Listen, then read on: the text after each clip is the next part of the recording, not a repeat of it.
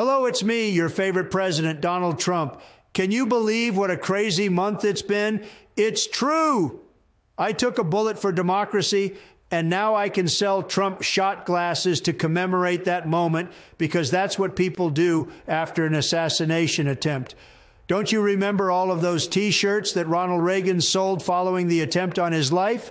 It's true. That's how he raised money for his campaign.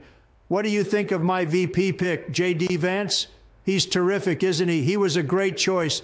Definitely no one else I could have picked. Just J.D. Everyone loves him. It's true. Melania told me that I made the right decision. She said to me, she said, Sir, why did you pick this guy? He's terrible. That's code for, You did well, sir.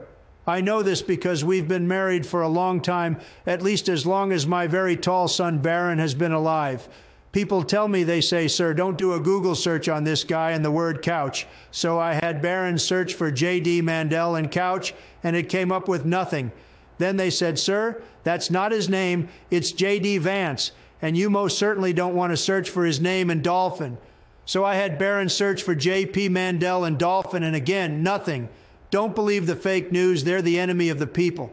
Did you hear that Barack Hussein Obama and his wife Michelle endorsed Lion Kamala Harris? It's true, they did. But how can you trust someone not even born in this country? It's true, especially if they're from Colombia, like that conflicted judge in New York. Judges from Colombia are the worst. I'd never put a judge on the bench from Colombia.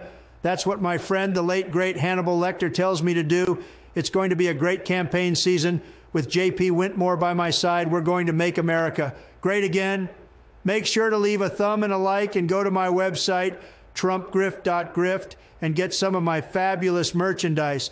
We've got those shot glasses that commemorate my taking a bullet for democracy, and I'm also going to start selling my Trump Bible that will also feature a bullet hole. I'm going to have my friend Kid Rock. He's a fabulous rap artist. He's going to take one of his rifles and just shoot a stack of these Bibles, and you can buy one for only an extra $45. It's a real bargain.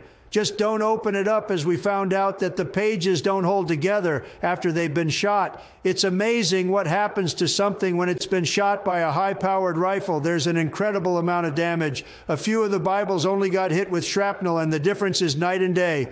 Hit the website and let's make America great again.